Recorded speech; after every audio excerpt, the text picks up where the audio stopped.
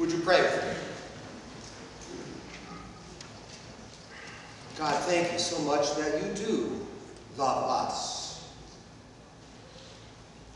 Love us so much that you sent Jesus to live with us, to die for us. Sent the word of life to be among us. And so now as we come to this time, I pray that you would help us to hear your word for our lives.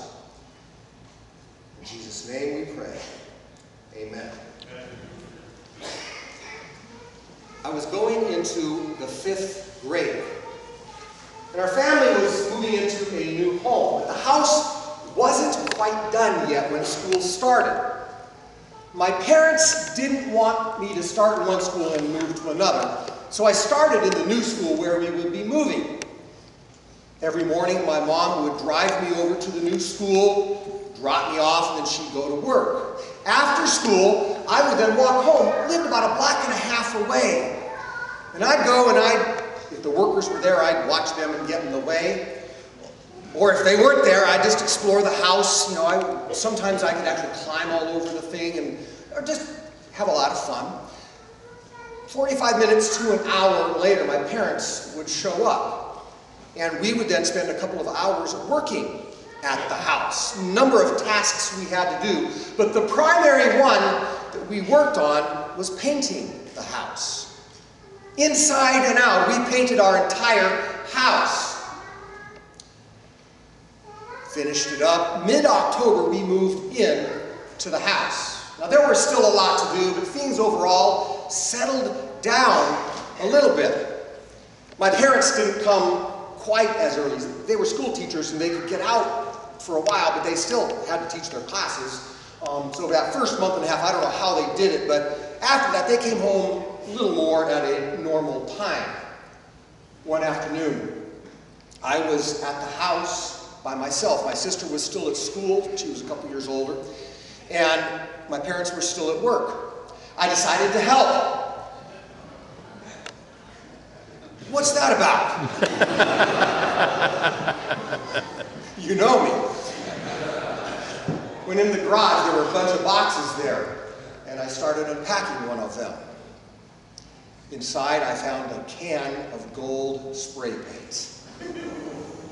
Yeah.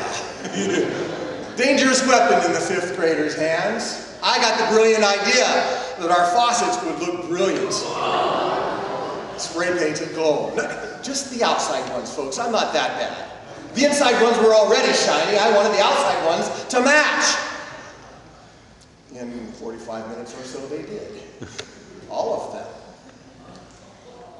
I don't remember when my parents actually found out what I had done. I know it wasn't that day. It may have been two, three days later, maybe even a week or more.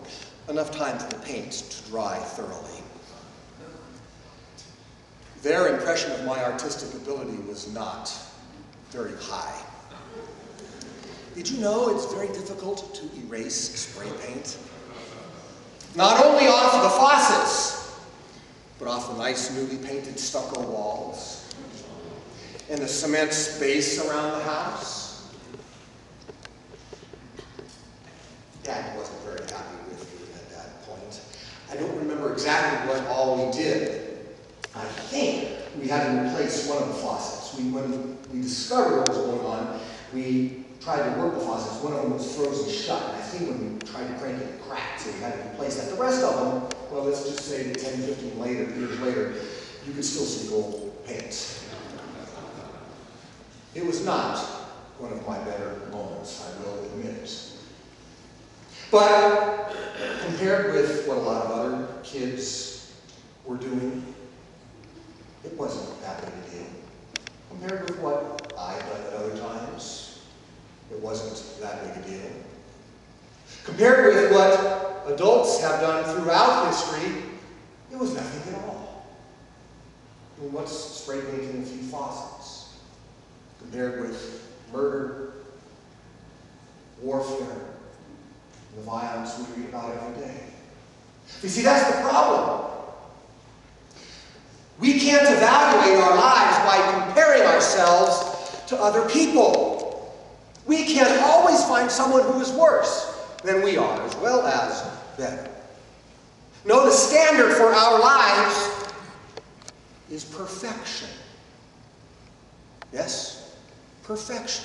That's what Jesus said. The Sermon on the Mount. Be perfect as your Father in heaven is perfect. You might even say that our standard is Jesus Christ. He was fully human. He knew what it was to struggle, what it was to be tempted by sin, and yet he never sinned. He was able to love unconditionally, to forgive fully. He was able to follow God faithfully through events that would have caused any one of us to turn away. Compared with Jesus, you and I will never match up. We've all sinned. Now, there's a theological phrase for that. It's called original sin. And people in the church have struggled with that doctrine from the beginning of time, mainly because of what we have right here is two little ones. How do you say that you know, sin is involved in there? I don't want to go into that. I don't know how to explain that myself. People have debated that. Original sin, well, let me see if I can explain it this way. This guy named Eddie Izzard, is his name. He's a British comedian. And as far as I know, he grew up in the church because he had some idea of what original sin was. You know, he heard about that concept, but he really didn't understand it very well. Eddie thought that original sin meant that priests were bored with hearing confession. People came in to confess their sins, and it was always the same old thing. There was no, no original sins, and they were bored. So Eddie came up with an original sin. I poke badgers with spoons. As far as I know, no one else has ever done that. At least not more than once. But Eddie didn't understand what original sin really was or is. Original sin is the idea that within all of us, there is an, an inherent tendency toward sin. You could even say it just as, as a way of saying all of us are sinners. We've all sinned. Some of us have spray painted faucets. Others have lied, cheated, stolen, We've lusted after people, worshiped things rather than God. We've held back love from people we ought to love. We've not trusted in God's love and mercy. We've broken God's laws. We've turned our backs on God and turned our backs on other people. The list could go on forever. Because we all have sinned. This morning, there may be someone here who has never been forgiven your sin. Maybe someone brings with you a, a, sin or a series of sins that you have never confessed. You may never have told anyone about it. And you've never experienced forgiveness. And that becomes a burden that you carry every minute of every day. We can't deal with that burden, so we tend to push it out of our conscious, but it takes incredible energy to get it out of our conscious. To try to forget about it. And, and that energy is energy we don't have available to live. Maybe that describes some of you today. Others here I know may not, you've heard the news, you've confessed your sins, you don't have any deep hidden or secret sins. But the truth is, sometime this past week, maybe even this morning, you sinned. Or maybe you don't can't even think of any specific sins in your life, but you are still a sinner, and you are aware of your need for God's grace and forgiveness. We've all sinned, and there is absolutely nothing you can do to take away that sin. You can eventually erase spray paint or cover it up somehow. But there's nothing you and I can do to remove the sin of our lives that disfigures and distorts who we are and who God wants us to be. Sin breaks our relationship with God. There's nothing we can do about it to restore that relationship. But what we can't do, God has done for us. That brings us back to our scripture this morning. I want to read it again, but this time instead of reading it out of the, the Pew translation, I want to read Eugene Peterson's version of it.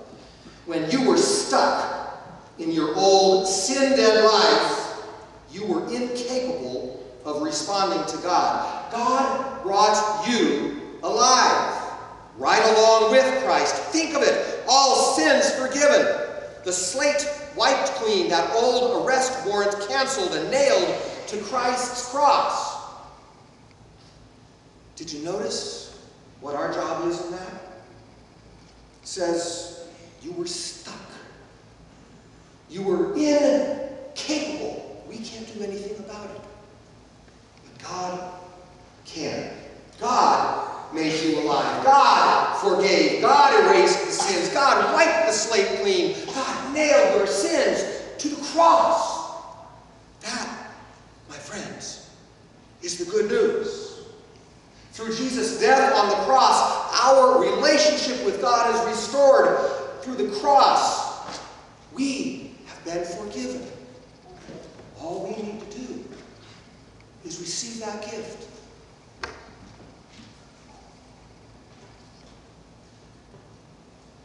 So this morning, whether you are carrying a heavy burden of sin or just have a sense of sin, your own sinfulness, I invite you to turn to the cross. For through the cross, we are forgiven. Praise the Lord. There is, I'm not done yet, Skip, don't.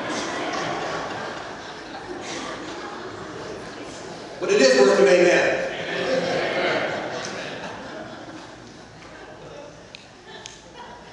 Because not only is our relationship with God restored through the cross, but there's a second consequence. The cross also means that the forces of evil have been overcome. Look at verse 15. God disarmed the rulers, authorities, made a public example of them, triumphing over, triumphing over them in the cross. Or as Peterson says, at the cross, God stripped all the spiritual tyrants in the universe of their sham authority and marched them naked through the streets. Our lives sometimes are difficult. Part of that may be our own doing, our sin. But let's also be aware of what Paul talks about as rulers and authorities. We're talking about Satan. The devil, however you want to describe these beings that work against God and work against those who love God and those whom God loves. Now, we're Presbyterian, we don't talk about Satan very much. And I'm not suggesting that we ought to focus all of our attention on the powers of evil. But at the same time, I think it is a mistake to ignore the reality that there are evil beings in this world. That Satan is working against God and attacking God's people. Friends, I would suggest that some, and that, that word some is key, some of the struggles in our lives, some of the struggles that we as a church are facing, some of the struggles that our denomination is facing, are a result of Satan attacking us. Satan's hope is to keep us from believing in Jesus Christ, to keep us from receiving the forgiveness and salvation offered in Christ. But one have accepted that. He can't take that away, but he can distract us from God. He can draw our attention and our work away from God, and he will use any method he can to do that. But the good news is that through the cross of Jesus Christ, Satan has been defeated. Satan has no power over us other than what we give back to him. We don't need to be afraid of Satan. And that also deserves an amen, Skip. Amen. The powers that want to draw you away from God have been defeated. Philip Yancey wrote a book called Reaching for God. And in it, he tells the story of a Bible study that his wife leads at a local nursing home. I want to read you this story. An Alzheimer's patient named Betsy attends, the faithfully, attends faithfully at the Bible study, led there by a staff worker. She sits through the hour. Bets, Betsy is slender, with snow white hair and a pleasant smile. Every week, Janet, that's Yancey's wife, Janet introduces herself, and every week Betsy responds as if she's never seen her before. When other people interact in the group or laugh at some little joke, Betsy smiles a distant, disarming smile. Mostly she sits quietly, vacant-eyed, enjoying the change of scenery from her room, but comprehending nothing of the discussion going on around her. After a few weeks, Janet learned that Betsy had retained the ability to read. Often she carries with her a postcard her daughter sent her several months before, which she pores over as if it came in yesterday's mail. She has no comprehension of what she is reading and will repeat the same line over and over like a stuck record some, until someone prompts her to move on. But on a good day, she can read a passage straight through in a clear, strong voice. Janet began calling on her each week to read a hymn. One Friday, the senior citizens who prefer the old hymns they remember from childhood selected the old rugged cross for Betsy to read. On a hill far away stands an old rugged cross, the emblem of suffering and shame, she began, and then she stopped. She suddenly got very agitated. I can't go on, it's too sad, too sad, she said. Some of the seniors gasped. Others stared at her in the years of living at the home. Not once had Betsy shown the ability to put together words meaningfully. Now, obviously, she did understand. Janet calmed her down. That's fine, Betsy. You don't have to keep reading if you don't want to. After a pause, though, she kept reading and stopped at the same place. A tear marked a trail down each cheek. I can't go on. It's too sad. She said, unaware that she had said the same thing two minutes ago. She tried again and again reacted with a sudden shock of recognition, grief, and the, at the exact same words. Well, the meeting was drawing to a close. The other seniors gradually moved away, heading for the cafeteria or their rooms. They moved quietly away as if in church, glancing over their shoulders in awe at Betsy. Staff workers who had come to rearrange the furniture stopped in their tracks, stared. No one had ever seen Betsy in a state resembling lucidity. Finally, when Betsy seemed tranquil, Janet led her to the elevator to return to her room. To her amazement, Betsy began singing the hymn from memory. On a hill far away stood an old rugged cross. New tears fell again and again. But this time she kept going. The emblem of suffering and shame. And I love that old cross where the dearest and best for a world of lost sinners was slain. And I'll cherish the old rugged cross till my trophies at last I lay down. I will cling to the old rugged cross and inherit it someday for a crown. Friends, the world we live in is filled with suffering and shame. As Jesus took to the cross, through, the, through his death on the cross, Jesus overcame the sin of our lives so that we might be forgiven. Through his death on the cross, Jesus defeated the powers of evil so that we don't need to be afraid. Through his death on the cross, our relationship with God has been restored. So I invite you to stand and celebrate the old rugged